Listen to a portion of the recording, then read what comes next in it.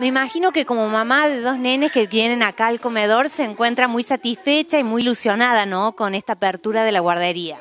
Sí, sí, muy lindo esto, la verdad.